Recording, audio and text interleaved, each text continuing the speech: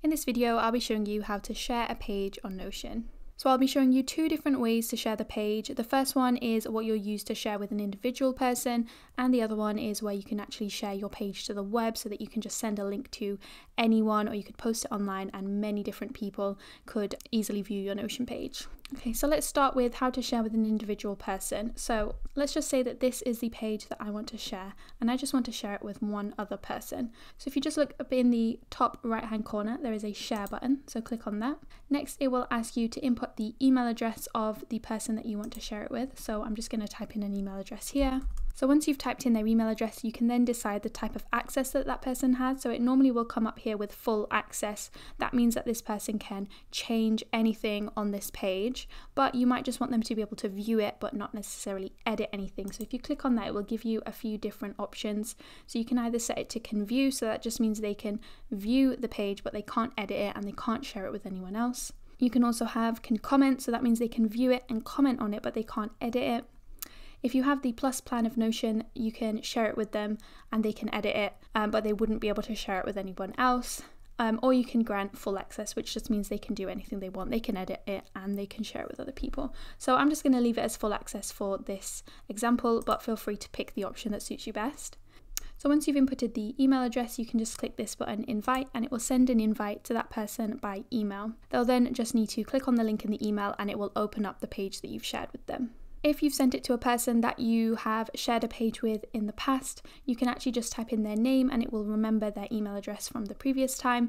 Um, so you can just click straight on their name and it will automatically send the email. So you can do this as many times as you want. So say there was two individual people that you wanted to send this to, you could just share it again, type in the email address of the other person, and again, just do that same thing.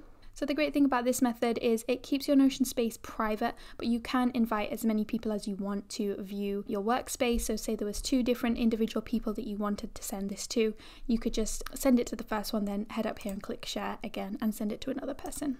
And the other way that you can share a page is by making it public. So this is kind of like publishing a website. So you would publish your page to the web and then you could send a link to anyone. They don't even have to use Notion, but they would still be able to access the page. So like I say, it's kind of like a website.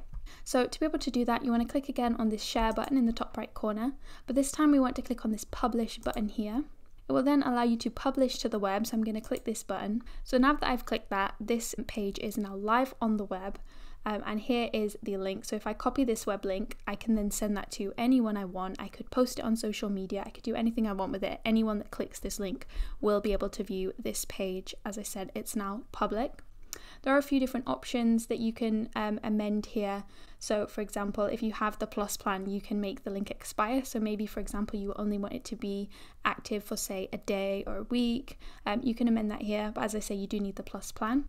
Um, you can allow editing, so I've currently got this set to off, so that just means anyone that comes to this page, they can view the page, but they can't make any changes, they can't edit anything. So it's up to you if you want to put that on. It depends really what the purpose of this is. If it's something that you want people to be able to edit, then of course you can turn that on, but in this case, I just want them to be able to view it, but not make any changes.